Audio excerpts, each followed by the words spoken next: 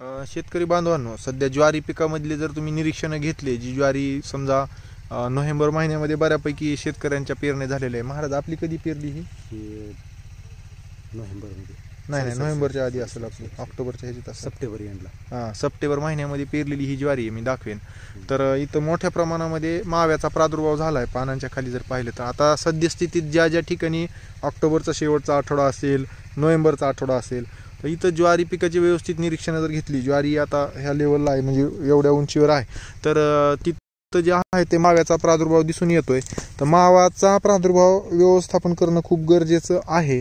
अन्यथा काय होतंय आता जसं इथं मी पानं दाखवायलो हे ज्वारीवर सगळा चिकटा पडला आहे आणि ही चिकटा पडल्यामुळं जनावरांना खाऊ घालण्यासारखी जी आहे ती ही परिस्थिती नाही आहे मग हा चिकटा येतो कुठून? तर काय होतं वर तर आपल्याला काय दिसत नाही पण हे सगळं काळवंडल्यासारखं दिसतं. तर ही अडचण काय होते की आता इथं मी दाखवतोय हे मावा आहे हा ज्वारीवरचा पडलेला मावा. ह्या माव्यानं काय केलेलं आहे की सगळ्या प्रकारचे जे आहे ते इथं पानांवर जे आहे ते रस शोषण केलेलं. पानं जे आहे ते ॲक- म्हणजे पंक्चर केलेले.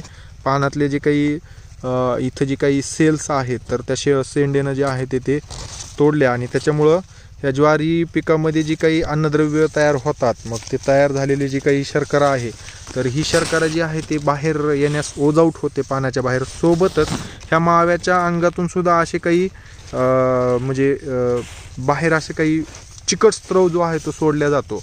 त्याच्यामुळं सुद्धा जे आहे ते हे पानं सगळे चिकट होतात. आणि हा हे चिकट झाल्याच्यानंतर जे आहे आणि पानानं जे काही स्त्रव जे आहे ते त्याच्या पानांमध्ये असलेला जो काही गोड पदार्थ आहे तो बाहेर पडल्यामुळं साखर बाहेर पडल्यामुळं ह्या साखरेवर जे आहे ते काळ्या बुरशीची वाढ होते आणि ही बुरशी वाढल्यामुळं जे आहे ते ही सगळं ॲपिरन्स आता काळं सगळं चिकट चिकट जे झालेलं आहे तर असे हे पानं होतात.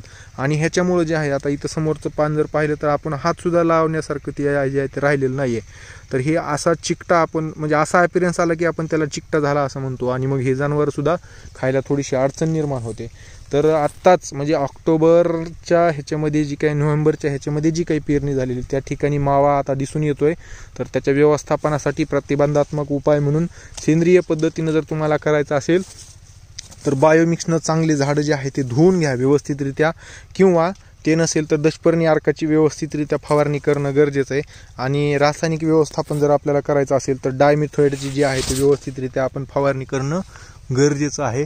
अन्यथा हा मावा जो आहे तो वाढून आपली ज्वारी जी आहे ते खाण्यालायक जे आहे ते राहणार नाही. दुसरा विषय आणखीन इथे एक मी थोडंसं दाखवेन.